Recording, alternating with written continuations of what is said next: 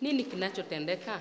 Mbona uendi nyumbani? La mwalimu, ni vile nikimaliza hii hapa nizaenda nyumbani ili nisome mtihani. Vyema sana, yaonekana kuwa utaongoza tena mwaka huu. Asante mwalimu.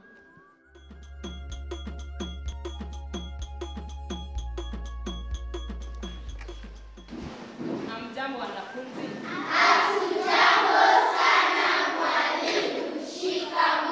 Kila mtu yuko tayari kufanya mtihani wa Kiingereza?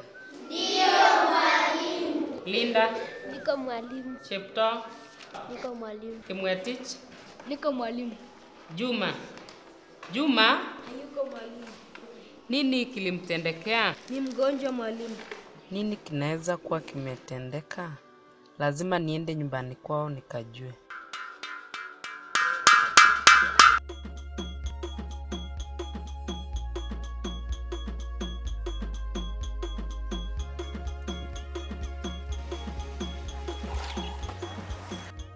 Odi. Ah, mwalimu, karibu karibu, tafadhali karibu mwalimu. Asante sana mama Juma. Kuna nini mama Juma? Mbona Juma hajakuwa akija kufanya mtihani? Hii itamfanya asifaulu. Tafadhali mwalimu, usiseme hivyo. Amekuwa akitia bidii sana, lakini kwa sasa bahati mbaya yeye hasikii vizuri, ni mgonjwa. Mgonjwa? Ndiyo, ni mgonjwa. Hata daktari yuko akimwangalia hali yake sasa hivi. Karibu, Asante sana mama Juma. karibu tena. Ujambo mwalimu. Si jambo Juma. Nitakuletea maji.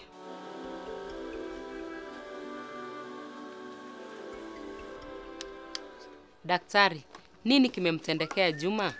Juma anatapika na macho yake ni ya manjano. Nadhani ana homa ya nyongo.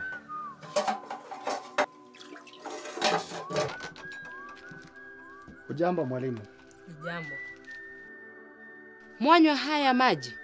ndio Daktari, maji haya ni mazuri ya kunywa kweli? ndio ndio tumekuwa tukiyatumia maji haya Maji haya mnayatoa wapi? kutoka kisima kilicho nje. Maji ya kisima si safi kamwe. Yana viini mingi sana yanayoweza kusababisha magonjwa kama kuendesha, kutapika na pia homa ya matumbo. Mwafanya nini kusafisha maji haya? wakati mwingine tunachuja kwa nguo na hata wakati mwingine tunayachemsha. Kuchemsha maji yaua vimelea, lakini kuchunga na nguo haiui. Tawezaje kuche, ku, kuchemsha maji kila wakati? Na vile bei ya gesi iko juu, Mbona msinunue kisafishaji maji? kisafishaji Ndiyo, siku hizi watoto wengi wamekuwa wagonjwa kutokana na maji. Lazima kila familia ikuwe na kisafishaji maji. Purit inatoa ulinzi kamili inayohusisha hatua mbalimbali za kisasa za kusafisha maji na yaua vimelea na virusi vya maradhi kwenye maji yako ya kunywa. Hii ndiyo mchakato wa kipekee vile Purit inasafisha maji yako. Hatua ya kwanza, maji inapita kwenye kichungi na kutoa chembe inayoonekana. Hatua ya pili, maji inapitia kwenye kidude cha kuua wadudu ambaye inatumia teknolojia maradufu.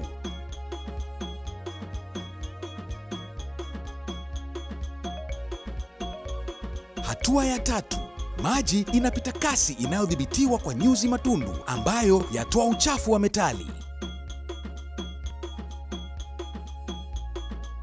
Kwa hatua ya nne, kisafisha cha makaa inatoa vimelea madhara, madawa ya kuulia wadudu na klorini na kupatia maji kioo wazi bila harufu na safi kunywa. Mwishowe, maji hupitia kwenye utando wa kusafisha tena na kuhakikisha maji ni salama kunywa. Maji sasa ni salama ya kunywa. haya yote ni sawa daktari, lakini yaonekana kuwa gharama ya juu mno. Tayari kuna gharama nyingine ya nyumba, karo yake ya shule na haya madawa yake. Si gali unavyofikiri. Una uhakika? Naam, nina uhakika. Kutumia Pirit ni kama shilingi moja na sumu ni kwa kila lita. Kwani hauwezi ukajikakamua kunulia familia yako?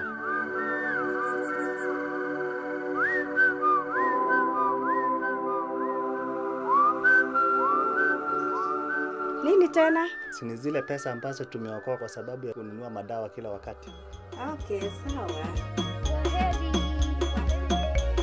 Daisy, Juma. Niko mwalimu.